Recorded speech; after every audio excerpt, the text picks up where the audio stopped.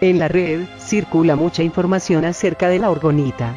Es por ese motivo que hemos hecho este material, mostrando lo que es, y lo que no es la orgonita, cómo usarla, y cómo prepararla adecuadamente. La orgonita es un dispositivo, que fue descubierto en la década de los años 30, por el doctor y psiquiatra, Wilhelm Reich en sus investigaciones, que estaban basadas en la búsqueda de una energía bioeléctrica, una mezcla de biología, psicología y medicina, que finalmente llamó Orgon. Ayudado de una versión modificada, de lo que es un medidor Geiger. En sus experimentos, descubrió que esa bioelectricidad estaba presente en los organismos vivos, y luego la encontraría en la atmósfera, en cantidades infinitas. Así fue como pasó de la biología y la medicina, a la física relacionada con fenómenos atmosféricos y meteorológicos. La astronomía y la astrofísica. Fue así como con el rompenubes, demostró el funcionamiento de su invento.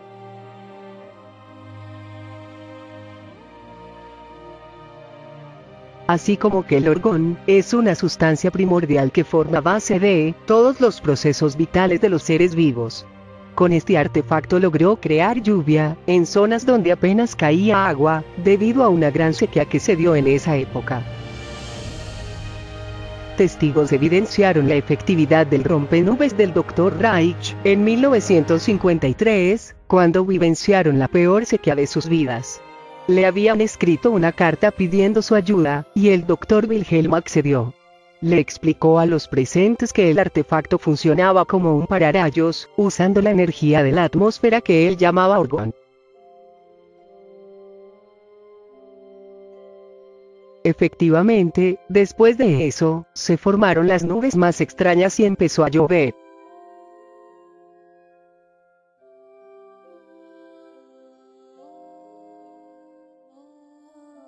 Experimentó con acumuladores de orgón para curar a sus pacientes, incluso de dolencias como el cáncer. Las cajas de madera, que contenían metales como el oro y el aluminio, donde introducía a sus pacientes. Quienes fueron curados con grandes éxitos de sus dolencias. Él llamó a esto orgón. Con el paso del tiempo, se convirtió paulatinamente en la orgonita que conocemos hoy en día. El Dr. Reich determinó que, apilar capas alternas de resina y fibras de metal, podían atraer y recoger orgón.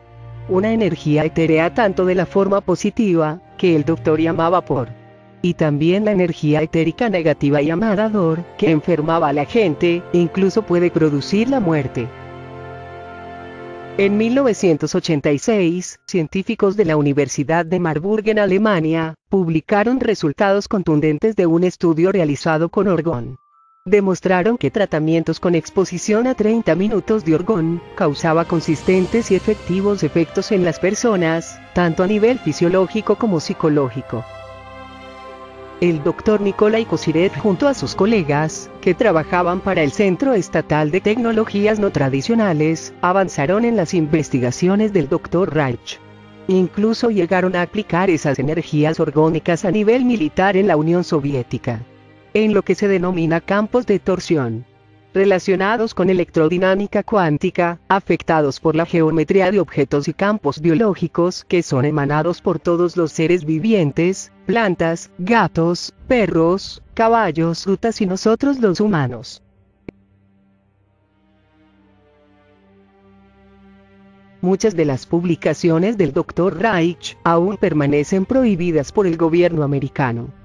Sin embargo, aún muchos institutos gubernamentales, militares y privados, universidades como la Manburg o la Politécnica de Madrid, continuaron con las investigaciones del orgón, relacionadas con las estelas químicas, y en los cuales se han obtenido muy buenos resultados. Durante la emergencia surgida por el tsunami en Japón, se usó un material orgánico para disminuir la contaminación ocasionada por las partículas radioactivas de las centrales atómicas de Fukushima. Usando un vehículo robótico, se cubrieron los reactores con resina y fibras delgadas de metal, para disminuir rápidamente los niveles de radioactividad. Miles de investigadores a nivel de doctorado, poco a poco han ido obligando a la ciencia occidental a reconocer el concepto de esta energía orgónica, que hoy en día se ha denominado partícula de Dios. Un nombre que todavía no le gusta a los científicos. A pesar de estar en circulación información acerca de la orgonita, la mayoría de las personas se abstienen de usarla debido a sus paradigmas y creencias religiosas. Tal vez porque son los grupos Nueva Era los que más anuncian y venden la orgonita en la red como un objeto milagroso. Un amuleto que hará desaparecer las malas energías que se hallan en nuestro alrededor. Es por eso que se toma como objeto mágico, satánico o metafísico puesto que es hecho con cuarzos.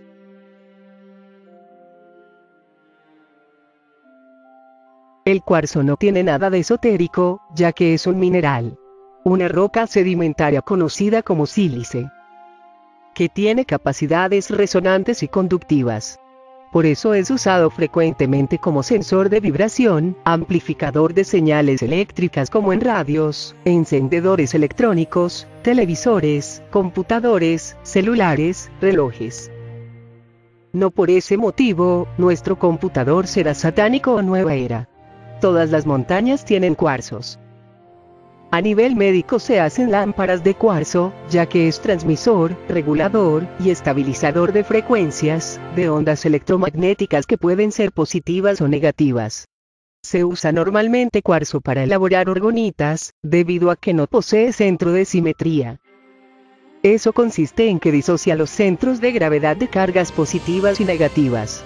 Además por su efecto piezoeléctrico que es un fenómeno presentado también por cristales como la turmalina que al ser sometidos a tensiones mecánicas, adquiere una polarización eléctrica en su masa, apareciendo cargas eléctricas en su superficie.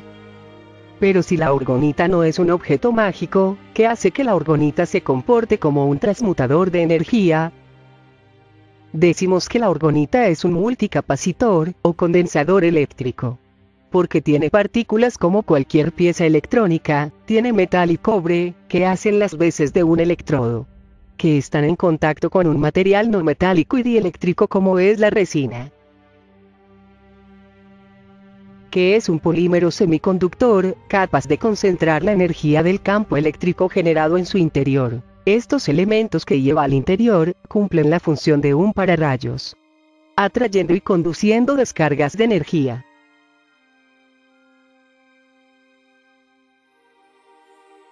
Veamos la preparación de la orgonita. Medimos la cantidad de resina que vamos a usar. Le agregamos el catalizador al 2%. Es decir que por cada litro de resina, se usarán 20 centímetros cúbicos de catalizador. Que podemos medir usando una jeringa. Si usamos 100 mililitros de resina, tomaremos 2 centímetros cúbicos de catalizador, y 2 de acelerador, en caso de que la resina no venga acelerada con cobalto. Hecho esto, tendremos media hora para trabajar la resina.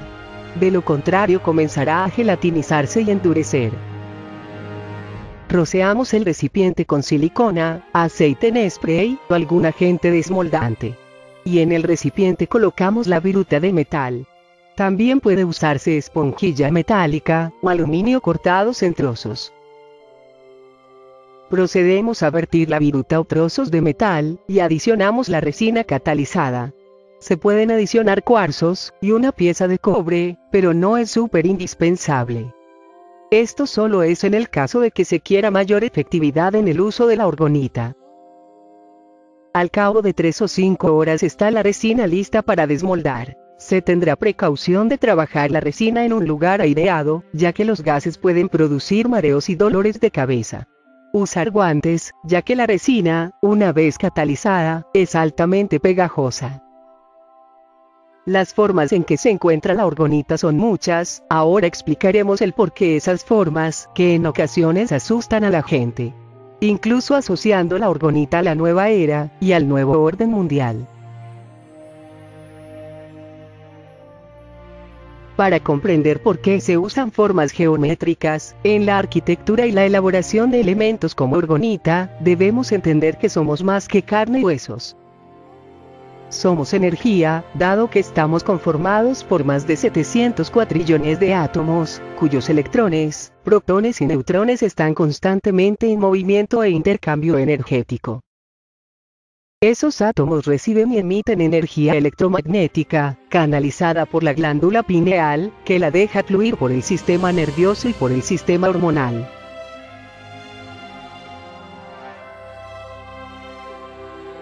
El Dr. Peter Mandel creó un método de diagnóstico a través de información holográfica contenida en nuestras manos relacionada con la salud corporal y mental del organismo, a través de los campos electromagnéticos captados con imágenes Kirlian.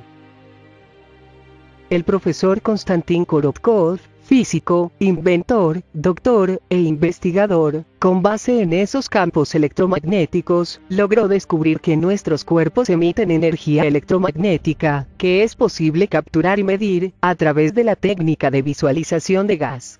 Esto permite observar en el campo electromagnético de una persona, su estado de salud físico y anímico.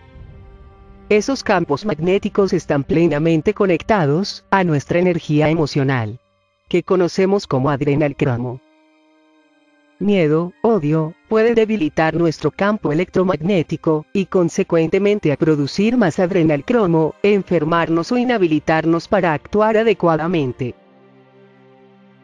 Es por eso que para la élite es importante el uso de estructuras geométricas, que contribuyan a canalizar nuestra energía, la cual es llevada a través de vórtices energéticos ubicados alrededor de todo el planeta, conocidos también como líneas ley o líneas espirituales. Esas formas geométricas tienen la capacidad de multiplicar, almacenar, canalizar nuestra energía para ser usada en rituales, con fines de abrir portales y permitir la entrada de seres interdimensionales. Las pirámides, por ejemplo, atraen y dominan energía. La vemos en el billete de dólar, logos de las empresas de la élite, los casinos de la élite, las pirámides dedicadas a los dioses iglesias, centros de negocios y un largo etcétera de edificios arquitectónicos creados con la geometría, que la élite denomina sagrada. Los domos son cúpulas, tienen la capacidad de concentrar energía en un solo sitio y dominarla. Por eso fueron y siguen siendo las más usadas en la construcción de templos por la masonería. Concepto aplicado por milenios para robar energía etérica de los humanos. La Casa Blanca, al igual que el Santuario Islámico en Jerusalén, la cúpula de San Pedro en el Vaticano, son solo unos ejemplos. A nivel ocultista hay algo llamado cono de poder, que es una energía que se manifiesta cuando un grupo de personas se juntan en forma de círculo, que es la base de la forma cónica. Ya sea cantando o bailando, se produce una cantidad considerable de energía usada para propósitos varios. ¿Cuántas veces han participado ustedes de un cono de energía, sin tener idea para qué será usada su energía? Algunos ejemplos de esta forma arquitectónica la hallamos en la famosa tienda Sara en Italia, la parabolide espacial en Toulouse, el oceanográfico en Valencia, la iglesia de Nuestra Señora de la Candelaria en Río de Janeiro, la iglesia de Saint-Pierre de Firmini, antenas satelitales y radiotelescopios. No se despeguen, que en la segunda parte, les mostraré cuáles tipos de orgonitas son las más efectivas. Cuál es la mejor forma de usarlas, igualmente les mostraré los efectos que produce la orgonita, algunos testimonios y experiencia personal, las maneras que existen para medir y verificar que la orgonita funciona en realidad.